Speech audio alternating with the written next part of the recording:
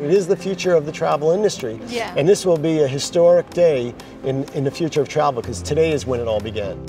So we're here in Las Vegas uh, for the 50th anniversary of the Consumer Electronics Show. And we're here in the uh, center stage where we're going to be giving the keynote.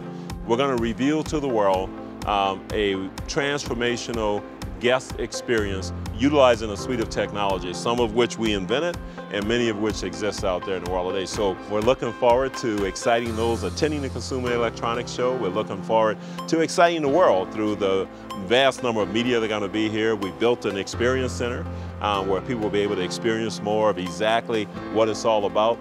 It's an exciting moment for our company.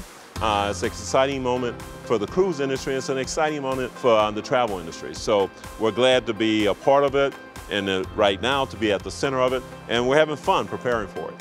So we have about a hundred uh, best friends. Kind of combination of tech and travel media.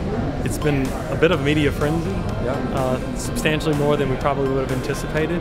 So so far, if, if that's any gauge, people are loving the message. We had a film crew in here this morning going uh, all morning long, Yeah. broadcasting to 30 different networks. Yeah, four hours, 30 networks, perfect message. Awesome message. So that must mean It was a good easy message. to understand. Absolutely. And it kept her excited the whole time. absolutely.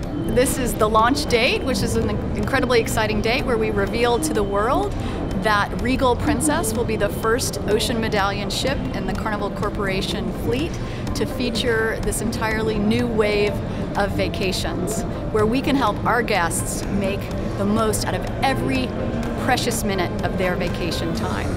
The energy here at CES is unbelievable. I understand there's a huge buzz about our booth, or I don't even know if you can call this a booth, this entire area where it's all uh, in a private area. And so, as I understand it, other folks out on the floor, the buzz is about that this is going to be the spot to see at CES. So, we couldn't be more excited to unveil to the world all the work that our teams have been doing in creating the next wave of vacation travel.